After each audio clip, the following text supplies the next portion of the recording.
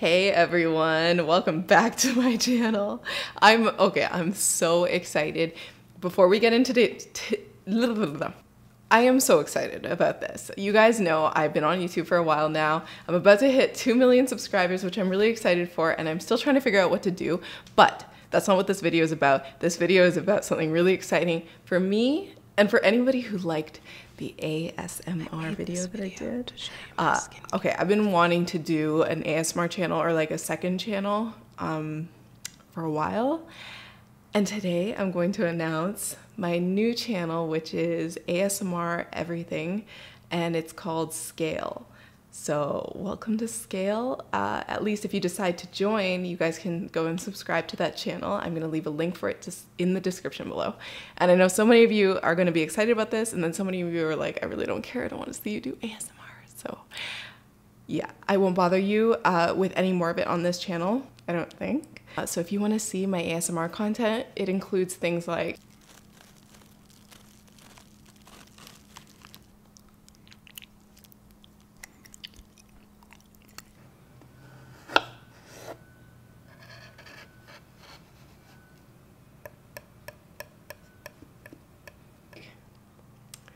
very satisfying sounds.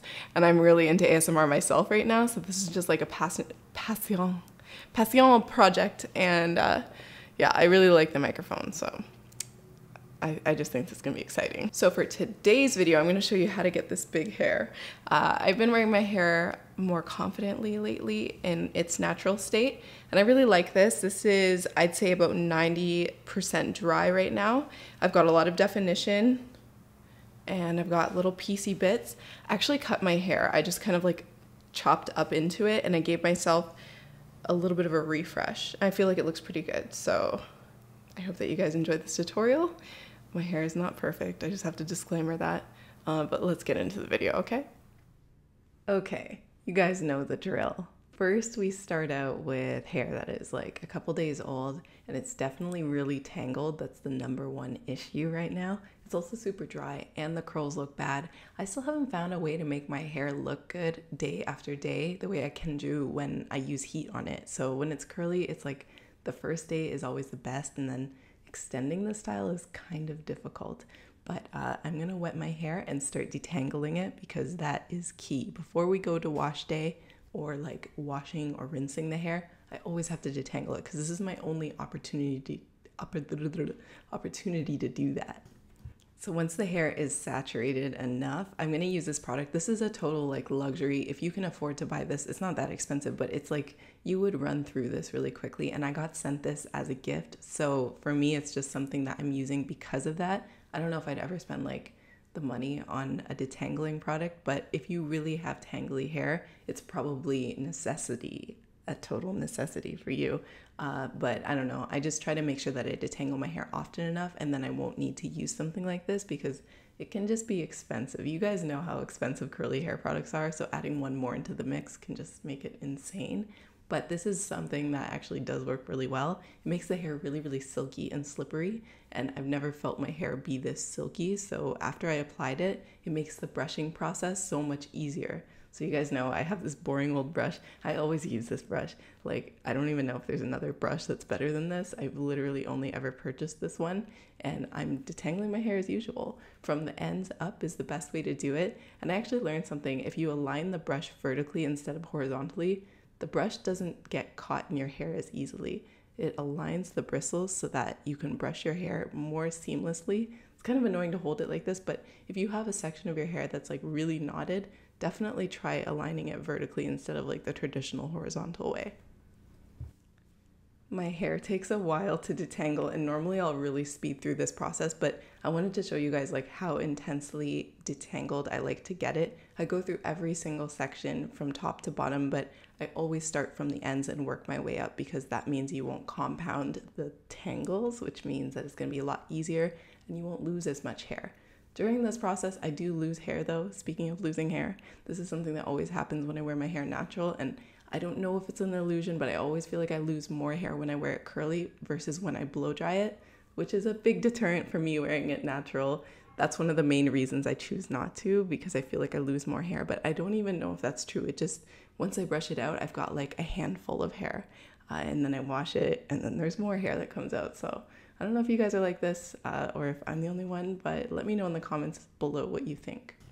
Okay, so I'm using my favorite shampoo and conditioner. Literally, this is my absolute favorite right now.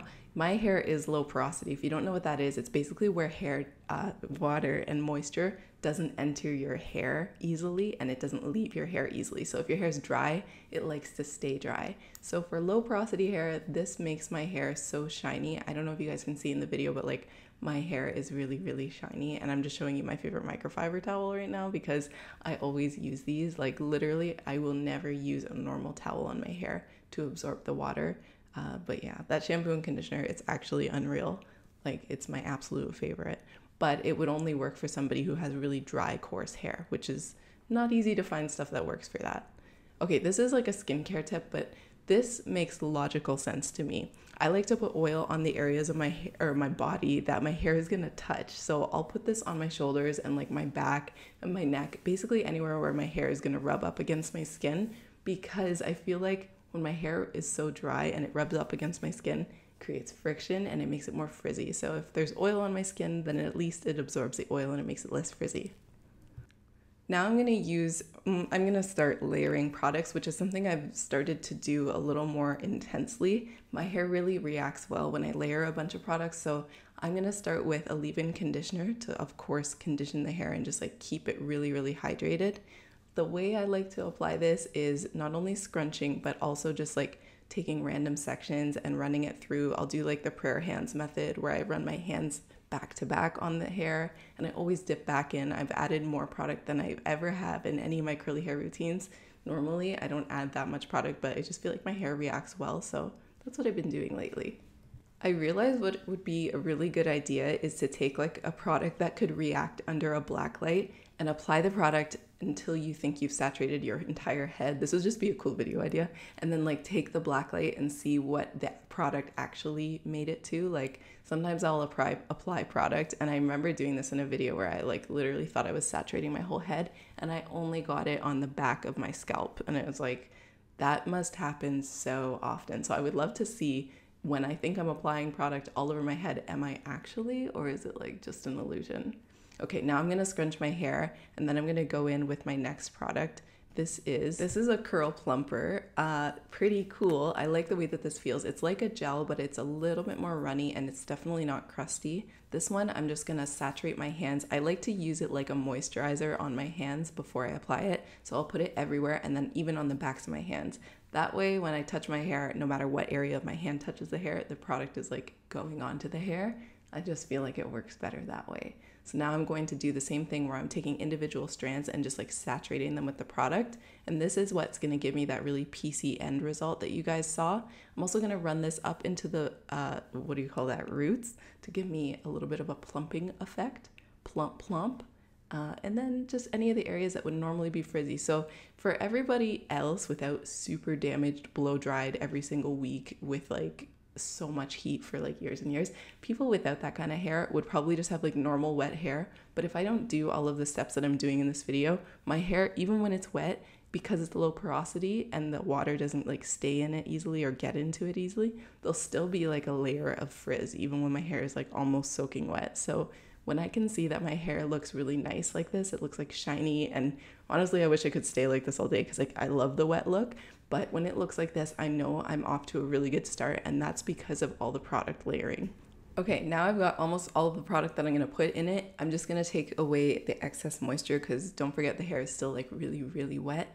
Now I want to talk about fashion really quickly. This is so random, of course, for a curly hair routine, but I just want to explain something. I always dress a certain way when I wear, I always feel like I have to dress a certain way when I wear my hair natural, but I'm starting to challenge that and I want you guys to challenge that too because sometimes when you struggle to wear your hair natural, it's because you think you have to like look a certain way. I don't know if I'm the only one. I doubt that. And I think that's because in ad campaigns and things like when you see a girl wearing fancy clothing or like dressed up, you never see her with like a natural hairstyle. You'll always see like a blow dry, no matter her ethnicity. And so what I'm doing now is like stop. Uh, I don't dress as casual when I wear my hair curly, and I dress a little more like formal. And I really like the way that it looks like I feel like it looks pretty when you mix textures because our hair is so texturized that like why wouldn't you mix a pretty lace texture or something like a little more um, delicate? So yeah, I just wanted to mention that really quickly because it's all like a mental game when it comes to like wearing your hair natural because it can feel really,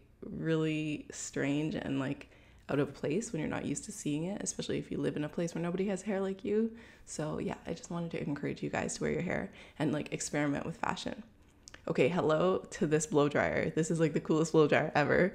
This is my new little guy that is like so cool. It works like a hand, so basically the air comes out of the fingers and it diffuses your hair so well. Like this is actually worth the money. This is one of those things that if you haven't had one uh, like a diffuser in general, I would not even get a regular blow dryer. I would just get this one if you plan to wear your hair curly a lot because this one works way different than a regular diffuser. And I noticed my hair, like in this video, my hair has not looked like this in a long time. I don't know if you guys can like vouch for me, but like my hair looks curlier and piecier and better. And that might be the haircut, but I'm definitely telling you that this blow dryer killed it. So I hope you guys enjoyed this tutorial. I hope you guys liked my hair. Uh, this is how I wear it when I wear it natural. And that's everything I wanted to show you. I love you guys so much. Please don't forget to subscribe to my ASMR channel, Scale. Again, there's a link in the description below. I love you guys so much. Bye bye.